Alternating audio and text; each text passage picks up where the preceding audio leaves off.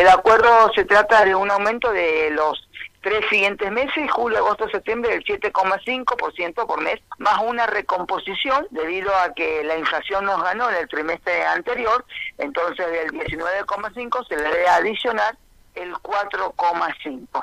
O sea que los empleados de comercio por el mes de julio tienen que cobrar un 12% más de aumento. Eh, ¿Qué otra cosa?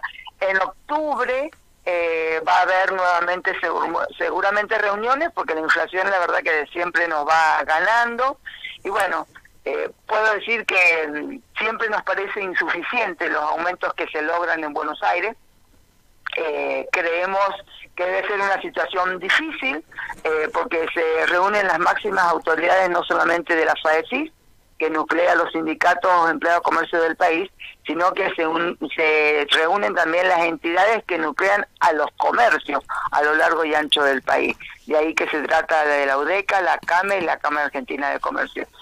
Llevaban más de un mes reuniéndose, así que esta, estas paritarias en especial han sido muy, pero muy difíciles.